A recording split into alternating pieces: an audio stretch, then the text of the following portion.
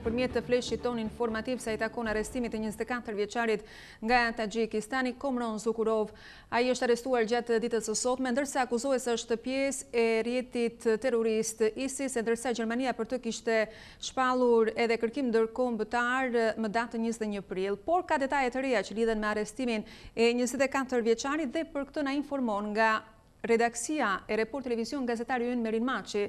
Merin të përshëndes, cilat janë të rejat më të fundit që lidhen me këtë informacion?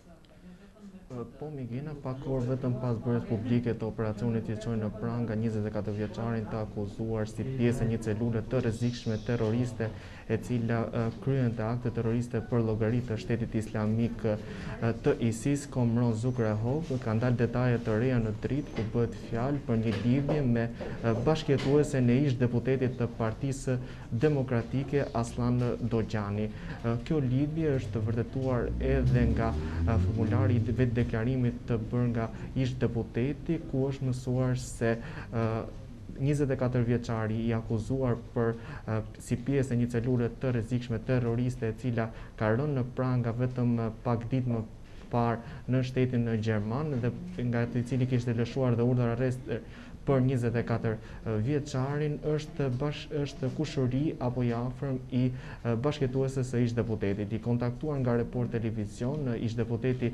Dogjani nuk ka pranuar të flasë, teksa ka thënë se ai është avokati i njëzet e katër vjeçarit të arrestuar mbrëmjen e djeshme nga Njësia e Antiterrorit dhe ka deklaruar se do të jetë dita e nesërme ajo ku ai do të ketë edhe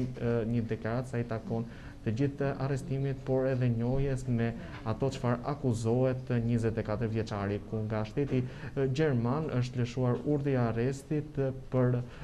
në akuzën e përfshirjes si pjesë e organizatave terroriste të huaja të cilët kryenin apo shkaktonin akte terroriste për llogari të Shtetit Islamik të ISIS. E ndërkohë thuhet që ky së bashku me grupin tjetër pjesë e këtij rrjeti pra të ISIS kishin planifikuar edhe një sulm në Tiranë. Po, njëzet e katër vjeçari Zukurov është pjesë e celulës terroriste e cila vepronte në Gjermani. Bëhet fjalë për një celulë e cila është goditur më pesëmbëdhjetë prill në shtetin gjerman, ku ranë në pranga pesë persona nga Taxhikistani gjithashtu, të cilët u akuzonin apo ishin pjesë e një celule të rrezikshme terroriste. Nga hetimet e kryera nga autoritetet gjermane në atë kohë, u zbulua se njëri prej personave të arrestuar, një prej personave të akuzuar për sulme terroriste, Revzan